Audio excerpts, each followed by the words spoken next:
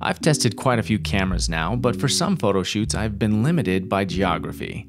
Utah is not what you'd call a destination for viewing the aurora borealis or northern lights, but this month North America experienced a storm that would make history. In the past, there have been reports in my home state suggesting you might catch a glimpse of polar particle activity, but I can tell you firsthand that those headlines were little more than sensationalized clickbait.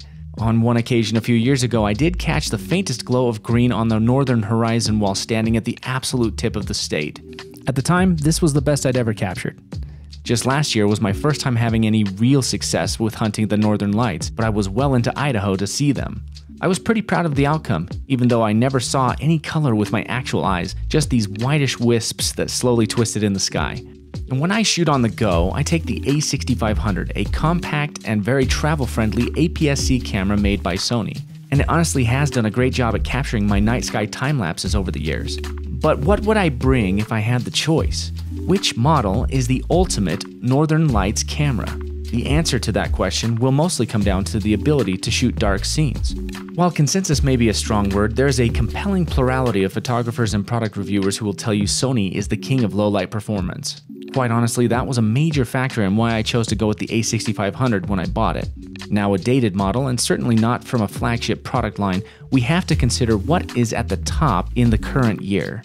Well, it just so happened that for one weekend I had in my possession the A7R5 and the A7S3, the two top Sony choices by professionals in my field. As you guys know, I've shot with both in the past, but this was my first real hands-on night shooting experience with the S model, something I've been excited to try out for a while. If Sony is the king, then the A7S3 is the crown jewel if these thumbnails are to be believed. Well, we're going to find out. Funny enough, it wasn't my plan to shoot the northern lights on the weekend in question, but that's just kind of the nature of the aurora. It shows up fast, and despite some great efforts to forecast it, no one really knows for sure where, when, or how long it will last and how strong it will be. Opportunity knocked at the door, and I wasn't passing it up. Driving north just as I passed Brigham City, Utah, the light pollution faded, but a haze on the horizon persisted, and I was sure I knew what I was seeing. Never had I seen it this far south, and to my utter delight, this was the first time I could see real vibrant color with my own eyes. But I had no time to lose if we were going to find out what these cameras can see. The A7S III is primarily a video camera. That's not to say that the A7R5 doesn't have some advantages of its own in the video department if we're comparing the two. But let's find out what each one offers in terms of technology for this use case. This is not a time lapse. This is actual video coming right out of the A7S III. As many of you who have experienced fighting dark scenes will already know, that's pretty crazy. Seriously, not every camera can do what you're seeing here. Switching over to the A7R5, well, we may have already answered our question here. This is using the same camera settings and 85mm lens, but we are definitely not getting the same results. So what's going on here? Well, because the A7S III is purpose built for video, it doesn't have a large megapixel spec. But it's still a full frame camera, so what that means is each of these pixels is larger than most other cameras in its class. On top of that, Sony engineers a dual native ISO into every one of their mirrorless cameras. It's a pretty cool concept and fortunately a feature that is catching on among other brands as well. Dual native ISO essentially means that instead of one base ISO, you actually get a clean start for ISO noise at a second higher level. Now for the R model, that's ISO 100 and ISO 320, the same as many other Sony cameras. But for the S model, the second number is at 1600. Here's how that looks in practice. You can see a sudden complete loss of noise when switching from ISO 1250 to 1600. That's wild. A brighter, more usable picture at the higher value. But it doesn't stop there for the A7S III. Sony has also just put a lot of engineering into noise reduction at ridiculously high ISO levels when shooting video with this model. How do they do that? Uh, um, magic. So while it's not perfect, it's really impressive what it can do, but you can see that for yourself. Okay, but not all video is just video. We could also be shooting an interval and turning that into a time-lapse video. So how do these compare if we switch over to photos? Well, there you have it. Same settings, same lens, and not really a contest, is it?